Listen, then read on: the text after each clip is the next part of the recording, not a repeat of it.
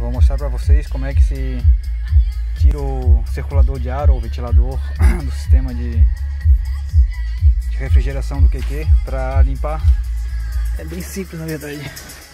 É aqui embaixo do porta-luva, né? E aqui tem essa, ó, essa peça aqui. Aí aqui tem esse caninho, tem esse caninho aqui, é só puxar ele para fora.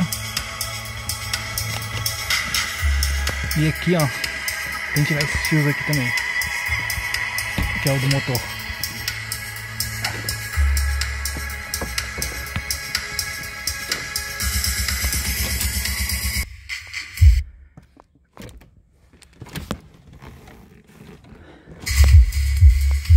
O último passo é essa travinha aqui, ó.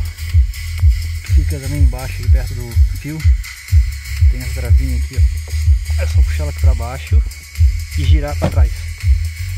Fazendo isso, o motor dá uma giradinha mais para trás para desencaixar e o motor sai fora.